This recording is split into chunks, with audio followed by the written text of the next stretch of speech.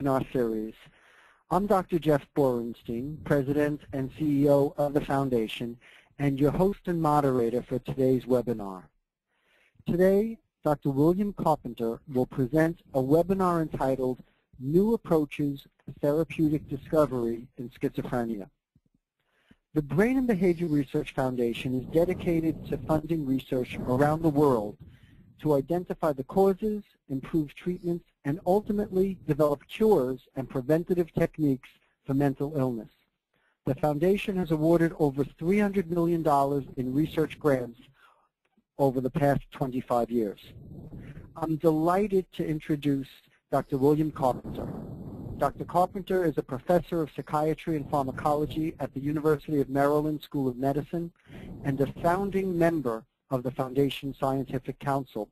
The Council selects the most promising ideas to fund with NARSAD grants each year. Dr. Carpenter is also a three-time NARSAD grantee. He will discuss his research integrating animal, human, and clinical models to, which develop novel therapeutics. Throughout his prolific career, Dr. Carpenter's research into, schizophren into schizophrenia has taken the approach to look at the care and study of patients that includes a medical model integrating biological, psychological, and social data pertinent to the diagnosis, treatment, and etiology of the illness. This will be an interactive event. We'll start with Dr. Carpenter's presentation, followed by a Q&A period. To submit your questions, please use the Questions tab of the webinar control panel. You can submit your questions throughout the presentation.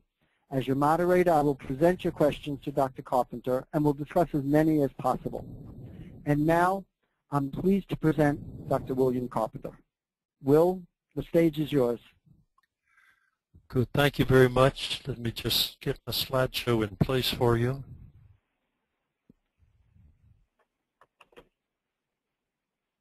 Dr. Carpenter, if you can click on the show screen. Good. I've done I've done that. So hopefully we're set to go. So good afternoon or good morning, depending on where you are. Um, very happy to have this chance to present this material to you.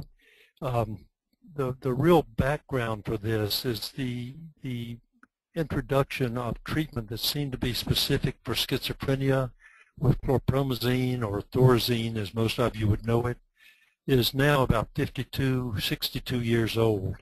Um, since that time, the drugs that have been approved for the treatment of schizophrenia have all shared a mechanism with thorazine they vary a good deal in different in different side effects, but they don't vary much in their efficacy or in the aspects of schizophrenia that are treated, with the main advancement being with uh, clozapine, uh, clozaril, having some superior efficacy for difficult to treat cases. So I want to go through the paradigm that's been used for this therapeutic discovery that has not made many advances in the last 60 years through alternative paradigms that are coming into play now that I think offer more promise for at least developing novel compounds for testing for treatment in schizophrenia. So to go through that and my first trying to advance my first slide now please. Uh, uh, Dr. Carpenter, just click on the slide with your mouse. Just, oh, okay. Okay, good. And just a quick look, I've done occasional advisory to different aspects of industry in the last 12 months to uh, Genentech and Roche.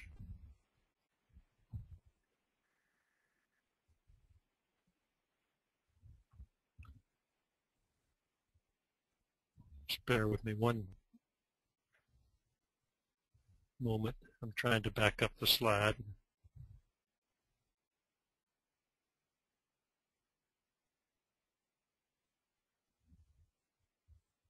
Uh, it's not backing up for me. Uh, can um, uh, here, uh, here we go. I'm I'm okay now. It, it got it. Uh, sorry about that rough start. So the, the paradigms that I'm going to cover, and I'll try to do this in the next 20, 25 minutes so that we'll have half of our time for your questions. Um, the main paradigm that's been used is to conceptualize schizophrenia as a disease and then thinking that the psychotic symptoms like hallucinations and delusions and disorganized thought represent the presence of the disease. But the problem is that schizophrenia is a clinical syndrome. There are probably a number of different disease entities within the syndrome. And patients have different domains of psychopathology. Only some of them are in the psychotic range. There are other aspects of schizophrenia that uh, lead to the impairment in role and social functioning. Uh, alternative ways of trying to get at these will include paradigms that get to endophenotypes, that is physiologic or imaging um, uh, abnormalities that are associated with schizophrenia but are probably closer to the causal pathways. Uh, and then looking at a more reductionistic way even at behavioral and neural circuit impairments. Uh, and then I want to have a few words about where I hope the field will be moving in primary prevention and in secondary prevention of psychosis, the latter of which is already uh, uh, becoming, beginning to be put into play. Uh, just to get us all on the same page and thinking about this, I'm showing you a picture of, uh, on the right is uh, Emil Kraepelin, who over a hundred years ago now identified dementia praecox, and he really based the identification of that uh, on the presence of avolitional or low motivation pathology combined with disordered thinking and a poor prognosis or poor outcome over time.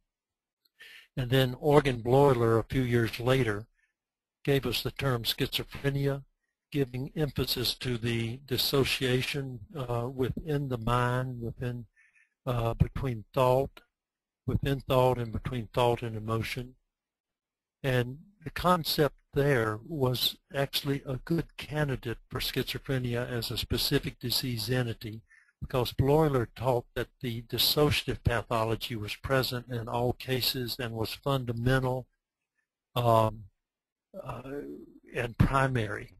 So the belief was from Bleuler that all cases did share the fundamental pathology and that finding treatments for that fundamental pathology would be applicable to the basically to the to the foundations of schizophrenia.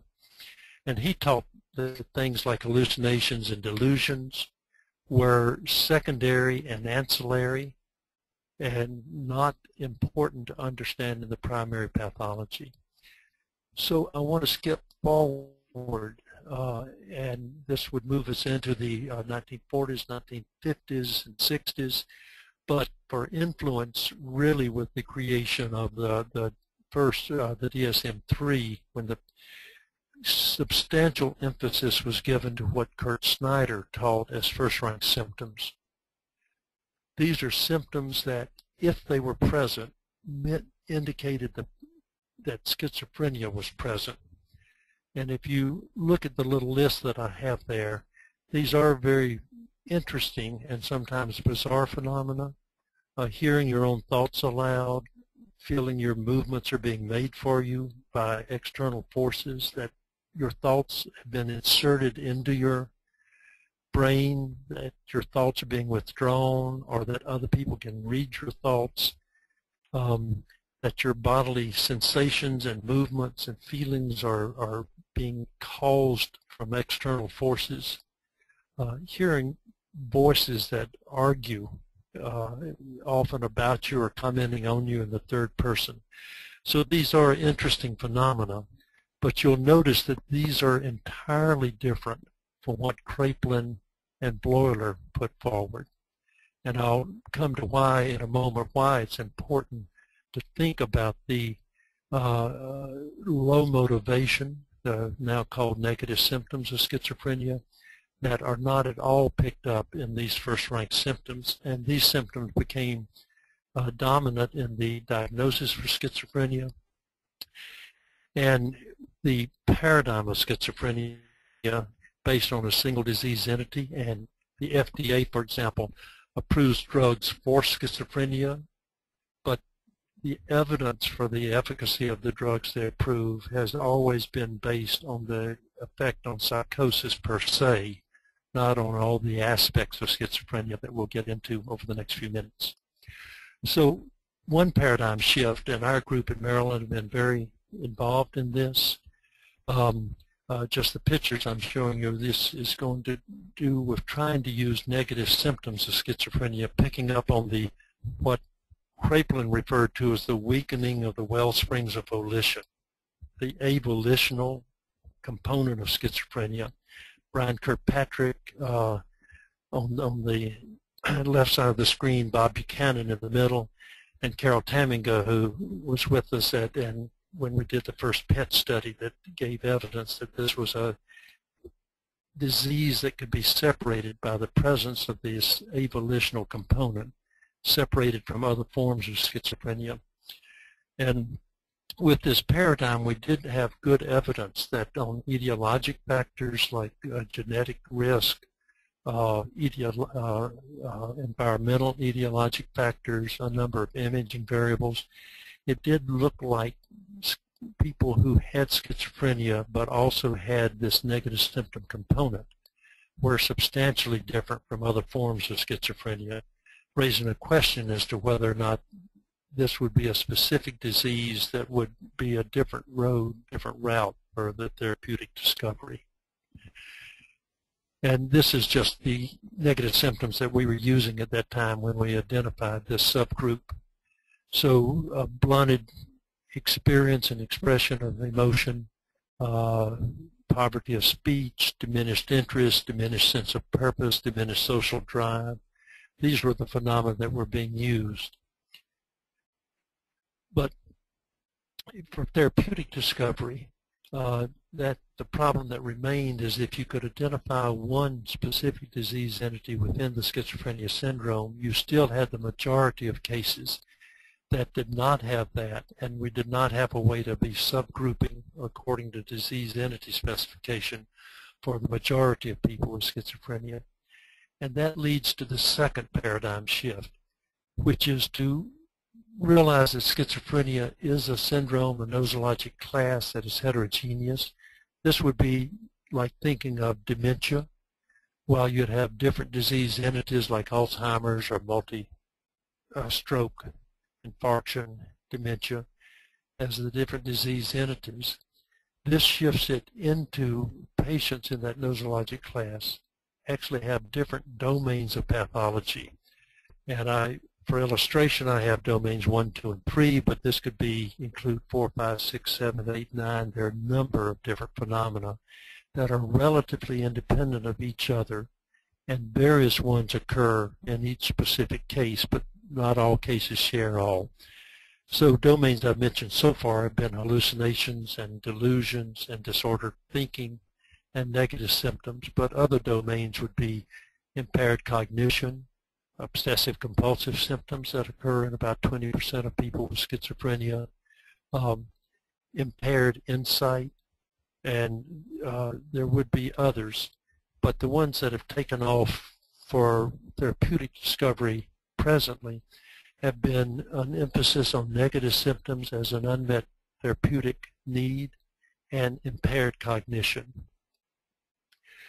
So this domains approach, uh, here I just wanted to show an old colleague from years ago, John Strauss with glasses at the top and John Bartko, a statistician, and the International Pilot Study of Schizophrenia that through most of its course, Norman Sartorius pictured below, was the principal investigator.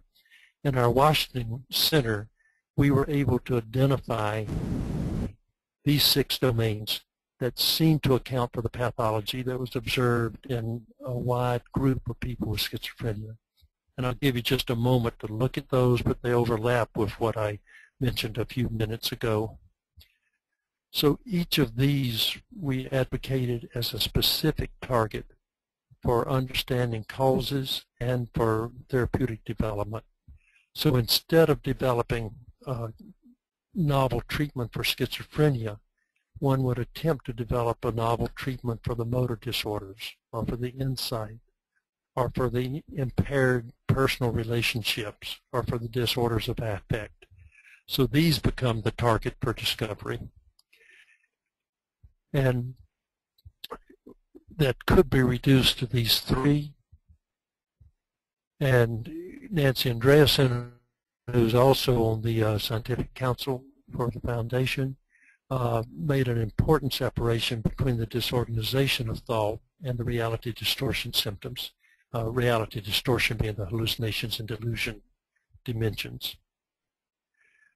Some very nice work by uh, two Spaniards, uh, Peralta and Cuesta, pictured here, found eight major dimensions in a large series of people with schizophrenia.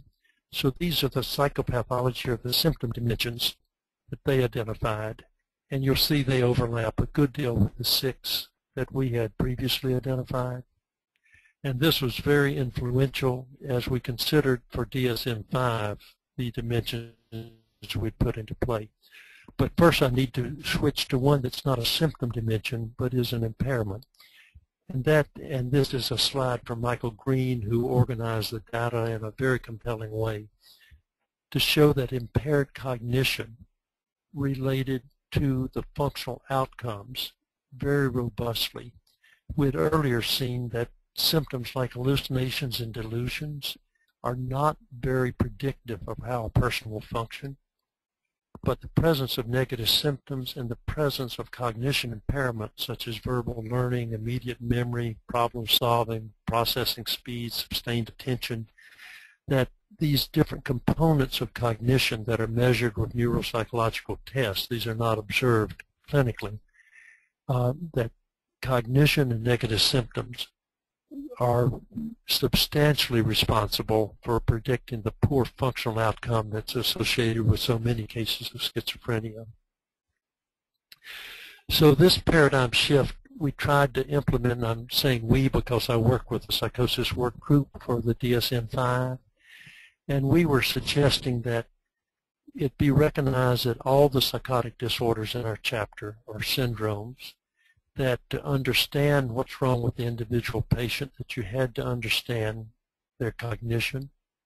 You had to know whether they had hallucinations, disorganized thought, negative symptoms, depression, mania, and psychomotor.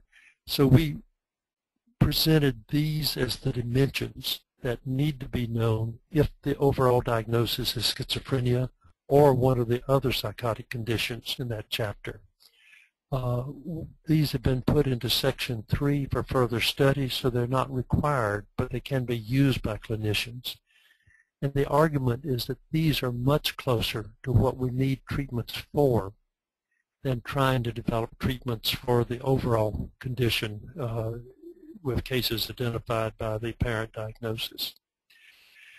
So the next um, paradigm that I want to shift to is there's more attention now, and uh, this is an awkward slide for showing it, but it turns out that all forms in this slide, it's pseudo-schizophrenia compared to true schizophrenia that was separated by people with a diagnosis of schizophrenia about whether they did or did not have those Schneiderian first-rank symptoms, that regardless of which class they're in, the prediction was not from the diagnosis of schizophrenia, but poor social functioning in the future was predicted by poor social development, Poor work function in the future was predicted by poor work development.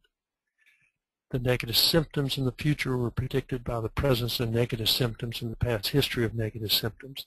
So you, you'll, you'll get my drift on this, that the diagnosis itself doesn't tell you much about the individual case, but there are specific developmental attributes that predict specific aspects of the functional impairments that are associated with schizophrenia the, uh, I've gotten ahead of myself. Let me try to go back one. The psychosocial treatment developments have been much more closely tied. So, for example, one of the most robust treatments that we have is to try to address poor work function. This is common, And among people with schizophrenia who would like to be in paid employment, supported employment programs can have a very robust, advantageous effect at the person achieving within a year the ability to work productively in paid employment. Uh, cognitive behavioral therapy is always focused on some specific attribute of what's actually wrong with the individual patient rather than uh, cognitive behavioral therapy being developed for the entire uh, range of symptoms or just associated with the diagnosis. Cognitive remediation, which is now beginning to show efficacy or aspects of impaired cognition, is focused on that uh, attribute of schizophrenia. So the psychosocial treatments have been more focused on these specific domains of psychopathology and the functional course. So here I'll, I'll shift gears and get into the integration with more basic science, hoping for translational effects at drug discovery. And in this, this slide, uh, this black box is just, I mean, this would be the clinical diagnosis of schizophrenia. But individuals with schizophrenia will vary with what type of phenotypes they have uh, the P50 phenomena. Bob Freedman has done a lot of work with a number of of, uh, of our scientific council. This is a phenomena where people fail to dampen their brain's response to a second stimuli if it follows quickly on a first where normally you would dampen the response, they fail to dampen it.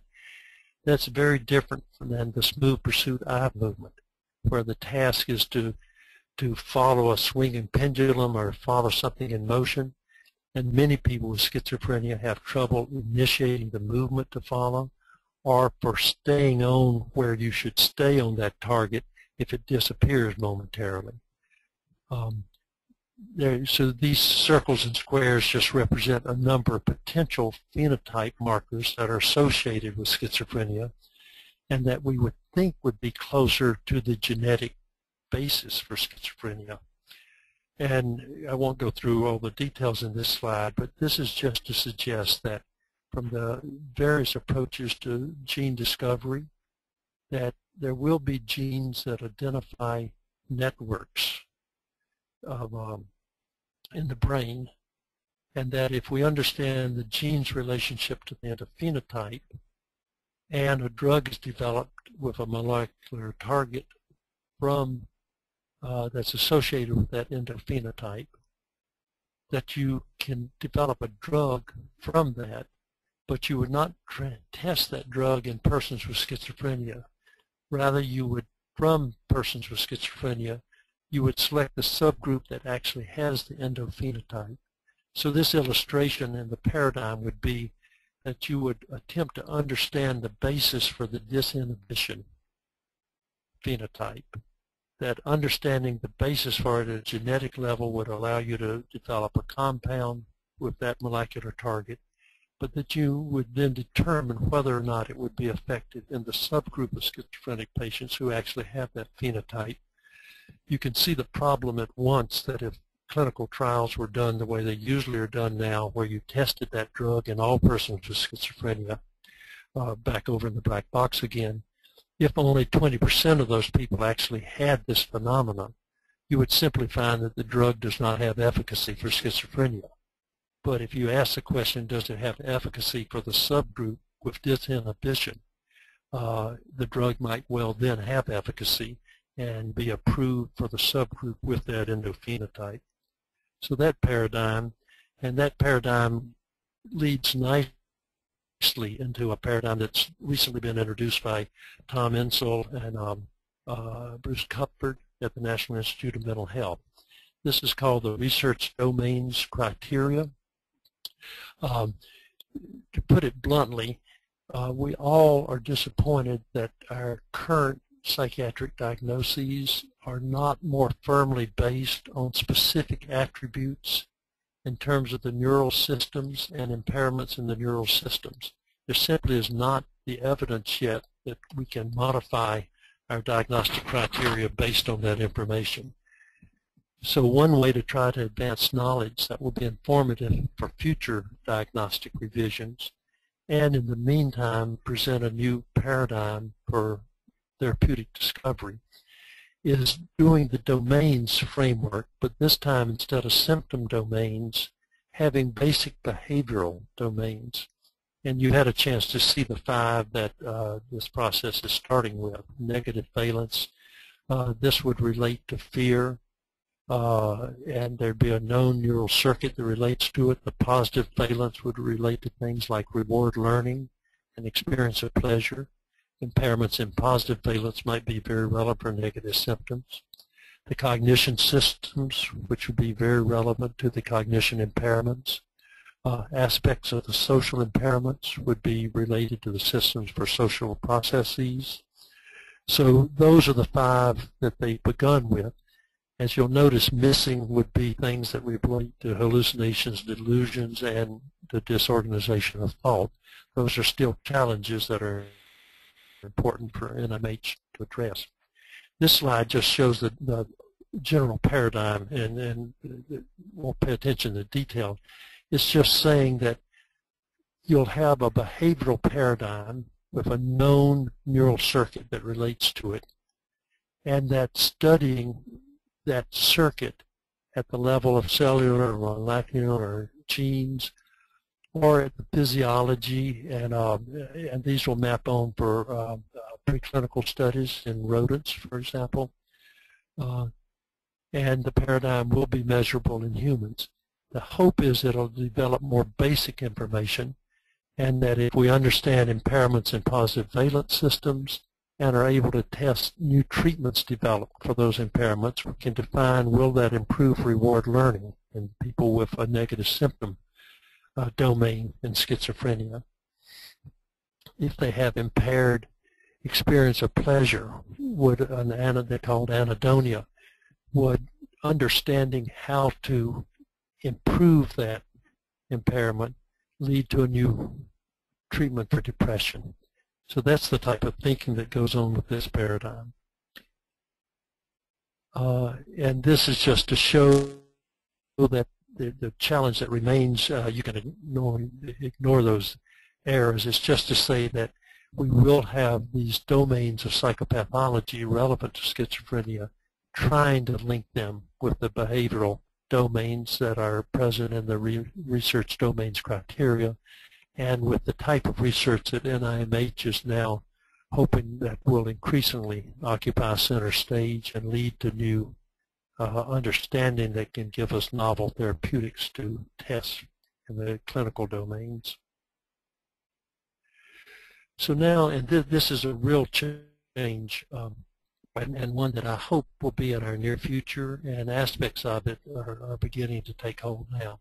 And this gets into how to think about primary and secondary prevention. So primary prevention, of course, would be to, to stop an individual from developing a vulnerability and from ever developing the disease.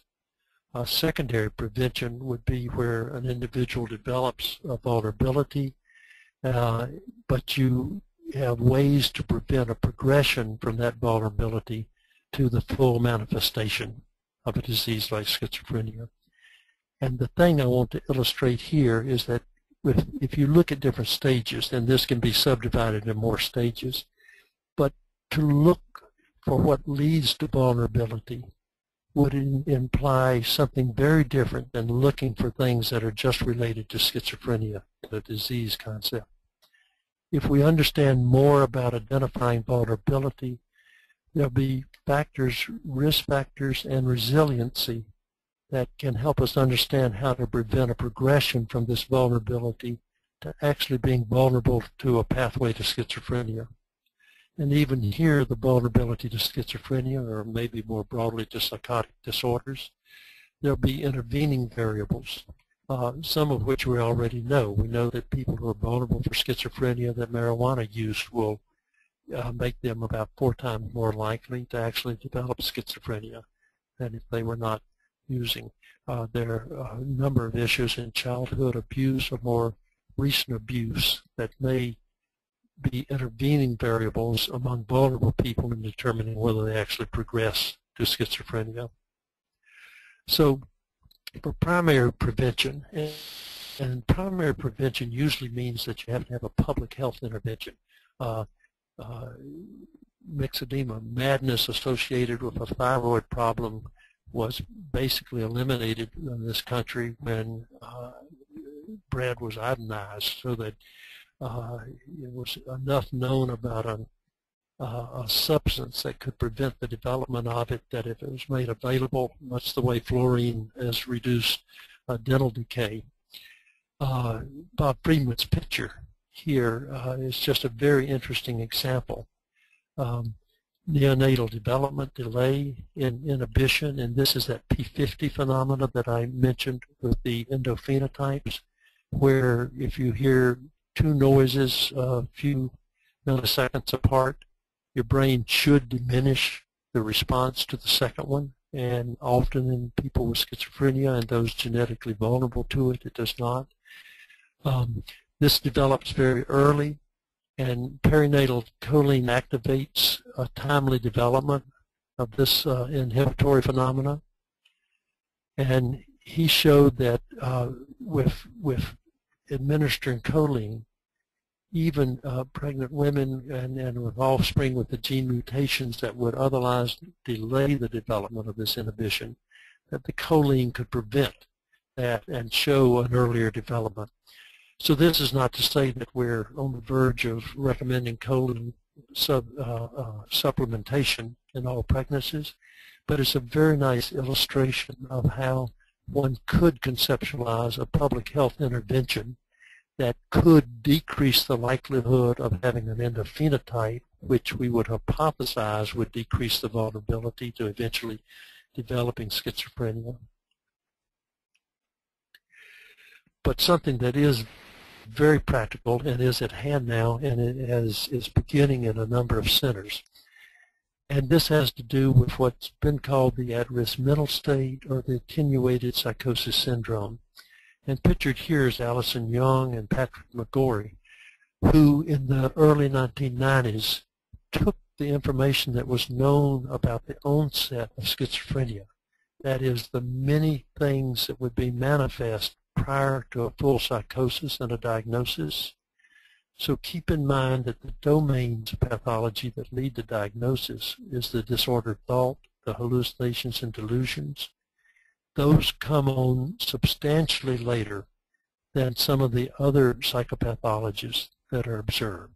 For example, the cognition impairments maybe sometimes are there from birth, but seem to be there from ages 6 to 15, and if there's a deterioration, it's usually in that early developmental period, but already impaired prior to the onset of a diagnosis or the onset of the psychotic component.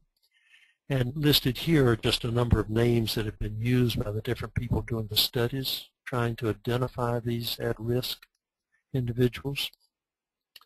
And here the idea would again be that vulnerability is developed that this vulnerability can be identified at a stage when psychotic-like symptoms are beginning to appear. This is where individuals might get a little bit overly suspicious, a little bit paranoid, but could be talked out of it. They'll have some strange experiences, uh, like they'll think, I was just talking to that person that left the room, but then, you know, I'm feeling unsure about whether they were actually here. Uh, begin to lose friends, to have school performance declining, uh, to spend more and more time in isolated um, environments, and they do not have a fully developed psychosis, but they do have this attenuated psychosis syndrome. And we know that people identified at this stage are have a substantially increased risk for fully developing a psychosis, usually schizophrenia. Um, Tom McGlashan in this country uh, did the structured interview and was an advisor to us with DSM-5 when we considered having the attenuated psychosis uh, syndrome as a new disorder. And I won't take time to go through these because I've mentioned them, but the criteria is basically that you have some schizophrenia-like symptoms, but they're very light. Uh, that these are distressing and sufficiently disabling to warrant clinical attention. So we do think of it as a disorder. This is, is sort of like chest pain that merits clinical attention, merits an effort to diagnose and to figure out what's wrong, and merits an effort to help the person not further develop uh, an illness, uh, a different illness from it. Uh, it's not like high cholesterol, which would be kind of a risk factor that ought to be addressed but is not already a disorder. So this would be thinking about it as a new disorder. There's a lot of validation for identifying this group. Uh, they do have distress, they do have dysfunction, so they merit clinical attention. Uh, they have reductions in gray matter in the brain in imaging studies similar to what's observed in, in people with schizophrenia and often in biologic relatives. They also have white matter reductions. They have impaired cognition. Uh, they're more likely than control populations to have negative symptoms. The transition to psychosis, even though so far all of these have been in treatment, uh, receiving treatment probably trying to reduce stress to help them understand, to help them avoid things that might make things worse. That may be fairly effective, but despite that, uh, within a year, about 20% have developed a full psychosis, and that fully developed psychosis is usually in the uh, schizophrenia spectrum. This just shows you at six months, uh, about 18% have become psychotic. At 12 months, about 22%. Uh, some more cases develop later, but it seems like most of the development is over the next two years. And of course, this is a very high rate for developing psychosis compared to any 12-month period in the general population.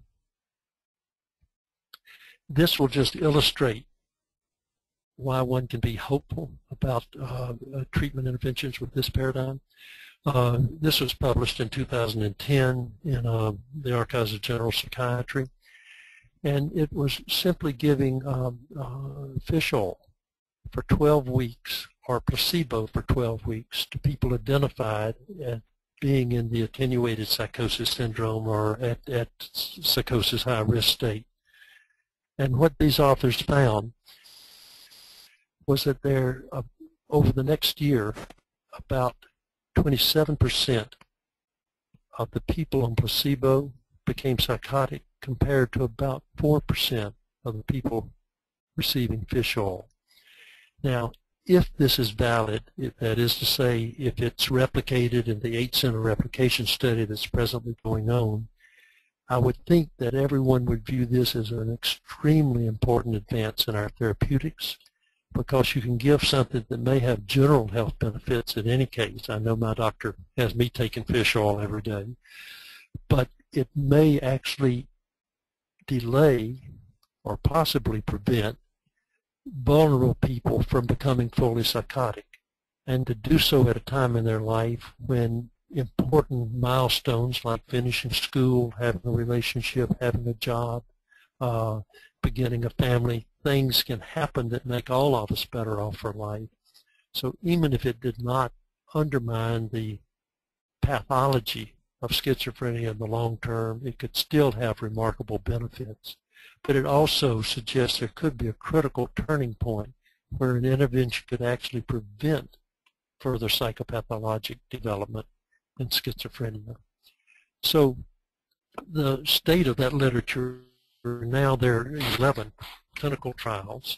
All of them, the control group receives treatment. So we, we in other words, whatever advantage you see with experimental treatment might be an even greater advantage over an untreated group. But these studies, many of them are small and not definitive, but they all are showing an advantage to the experimental treatment, often cognitive behavioral therapy, sometimes a medication.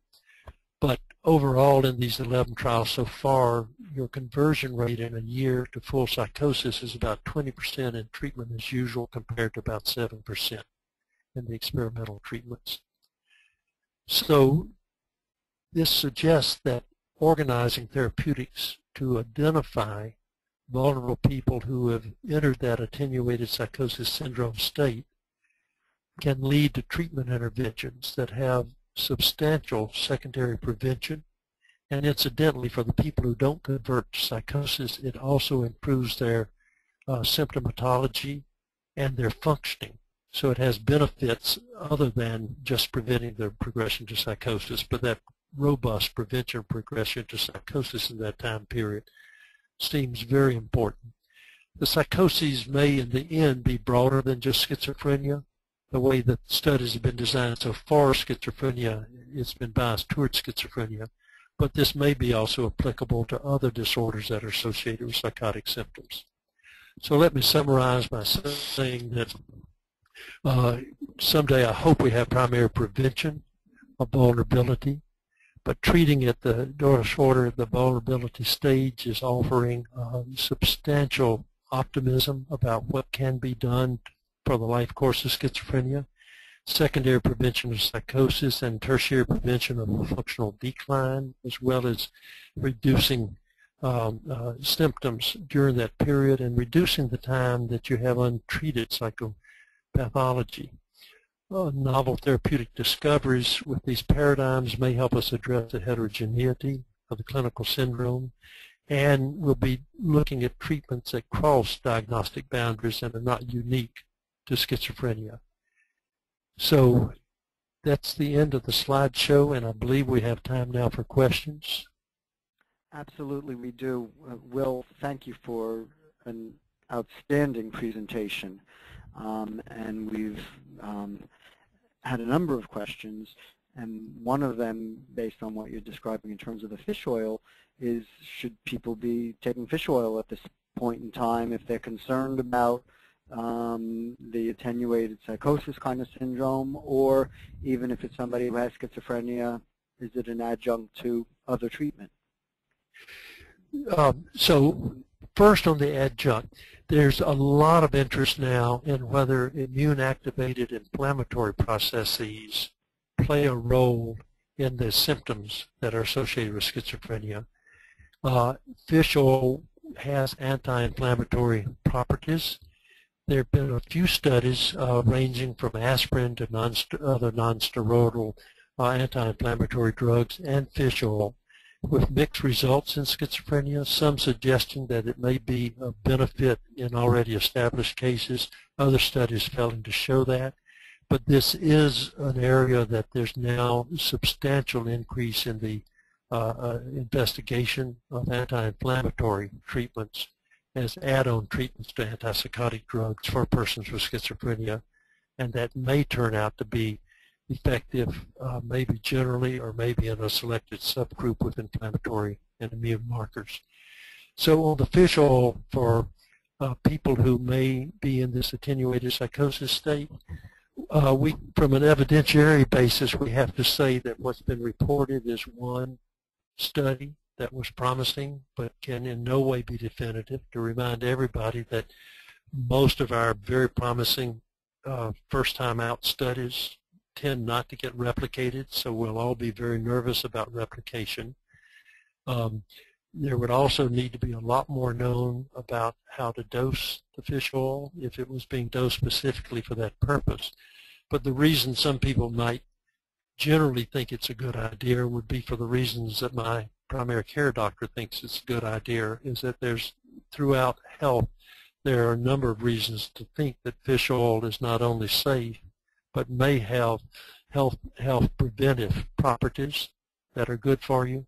So this is one where we would not worry much about the downside, but we would need to remind people it would be entirely unsure yet as to whether or not it would have the therapeutic advantage that one hopes for in relationship to psychosis. Good, good, thank you. I want to ask you about um, some issues in terms of medication uh, to treat schizophrenia, and in particular, um, Clozaril. And I'd like you to say a little bit about the use of Clozaril and your experience and um, your perspective on people taking Clozaril. Okay, so so Clozaril is the drug that has been recognized because of the evidence by the um, FDA as having superiority for treatment-resistant schizophrenia. Uh, it is also evidence that it, it, diminishes the likelihood of suicide and that it is more effective than some comparative drugs for uh, hostility and um, uh, aggression and violence. So there are attributes. We don't know the reasons yet why clozapine has these attributes, but it does have attributes that the other drugs don't have. And these can be generally applied to a fairly broad spectrum of schizophrenia. Since many cases are partially resistant, it, it does not take an extreme resistance to have the therapeutic advantage of clozapine. Uh, clozapine in the United States is substantially underutilized, and there are very significant problems that are associated with it. It is, of course, more challenging to administer because of the required blood test and because there are side effects that will bother patients and clinicians. And in the long run, there are very robust adverse metabolic effects. And in schizophrenia, we're already faced with, with uh, patients having a lifespan that's about 15, 18 years shorter than it should be. And the drugs, some of the drugs that have these robust adverse metabolic effects can presumably be very bad for cardiovascular disease and stroke um, and other, uh, other diseases associated with metabolic abnormalities. So it does have a very substantial downside. It's also difficult for clinicians to know what to do if they try clozapine and don't notice much difference. It's a difficult drug to withdraw from, has to be done carefully, and it's more likely than other drugs to have some withdrawal reaction in terms of activating psychosis. And of course, for the doctor, if you're withdrawing it, it's not like you have another drug you want to try because it's known to be superior. It's just because you've given up on, on obtaining the superiority of clozapine. So it's a very complicated thing, but substantially underutilized in the United States.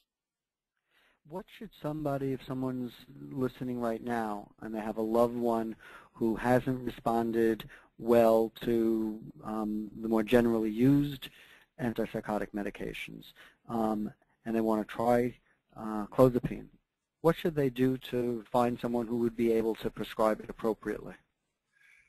Um, so I I would expect that NAMI may have recommendations for psychiatrists that would represent locales throughout the country, or uh, you could contact, you can kind of Google and find out who some of the experts are, shoot off an email.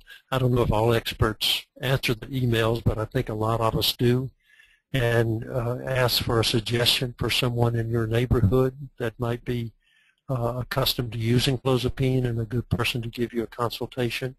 So I think getting a consultation with someone who is comfortable administering clozapine and works in a setup. Uh, you know, some some private doctors' offices would not be very well set up to do the drug draws or to deal with the side effects, so they just end up, you know, not being the ones that are going to recommend using it. So find yourself a good consultation on that. Uh, maybe even, uh, you know, as you said, reaching out to NAMI for recommendations or the nearest academic institution that may be able to be helpful with that as well. Yes. Okay. Um, the uh, in terms of um, sort of the the hope for the future for research, um, uh, you spoke a, little bit about prevention, spoke a lot about prevention, which is important. Where, what else do you see in terms of the future um, with regards to different types of medication or interventions to treat people who have schizophrenia? So it, for the for the near future, and of course this is where we we've had a lot of frustration because we have not had enough novel compounds to be testing for these different attributes. And some of the compounds that come out that seem real interesting theoretically have not proven efficacious in the clinical trials. But I, I, I would expect that we'll have a lot more evidence soon about already existing compounds that are used in immune and inflammatory conditions that we will hopefully know whether or not they're efficacious in schizophrenia and whether that applies to a subgroup or, or to early administration in schizophrenia. So that will be one area where I think because it can be done with drugs that are already approved for human use and it's a question of are they effective in our disorder. Uh, there was a lot of hope for the glycine reuptake inhibitors and negative symptoms and possibly cognition because of their interesting uh, neuroscience to predict that these drugs affecting the NMDA receptor uh, would influence cognition impairment and negative symptoms. Uh, the trials so far uh, have been a bit disappointing, but hopefully we'll see other compounds that may be effective in that system. The next thing to say is that there are other uh, hypotheses from neuroscience. Um, for example, uh, in the brains of people with schizophrenia, there's more kynurenic acid in key locations than would be expected in animal models. This can create a model for cognition impairment. Uh, it can be shown in the rodent models that inhibitors uh, that inhibit the formation of kynurenic acid can have a beneficial effect on cognition. And the key will be whether these compounds pass safety in humans and, and are therefore able to be tested. These are in development and uh, beginning with human testing. So it may be that within the next few years we'll be able to test uh, an entirely novel set of compounds with an hypothesis from the preclinical studies and from findings in schizophrenia to predict a therapeutic effect. And the hope we're not disappointed with the results of that. There are other things, though, and this may be particularly effective in younger people because they'll be more familiar with the gadgets and technology applied, but cognitive remediation and different, and there's some of the psychosocial treatments that can be done uh, over the internet or with smartphones. And it may be that young people who are identified as being at risk for developing a psychotic condition can get help in ways that are user-friendly for young people uh, with aspect of their social engagement or aspects of their cognition impairments uh, that are being manifest. And I think in that regard there will be uh, a range of psychosocial treatments that may prove to be efficacious in reducing the likelihood that one actually progressed to full psychosis that would be administered in a user-friendly way and not dependent on novel compound discovery um, all good and promising um, ideas, especially the cognitive remediation and the use of technology. Um, I want to ask you about a problem that often families have um, where their loved one um, sort of steps out of treatment, is not compliant or adherent to treatment, often because of some of the side effects of the medicine, sometimes for other reasons. What do you recommend to a family member who is concerned about their loved one and wants to get them engaged in treatment and they refuse or they become non-compliant, you know, on a regular basis um, and again relapse? Well, let, let me first take the easier part of that. This, for sure, is a widespread problem in uh, the ongoing treatment of people with schizophrenia. The easier part of it is people who are willing to take treatment but have trouble adhering to it. So here there may be cognition impairments or motivational impairments that the person may be willing to do it but just doesn't get around to it or isn't motivated to do it or doesn't keep up with when they should take uh, the tablet.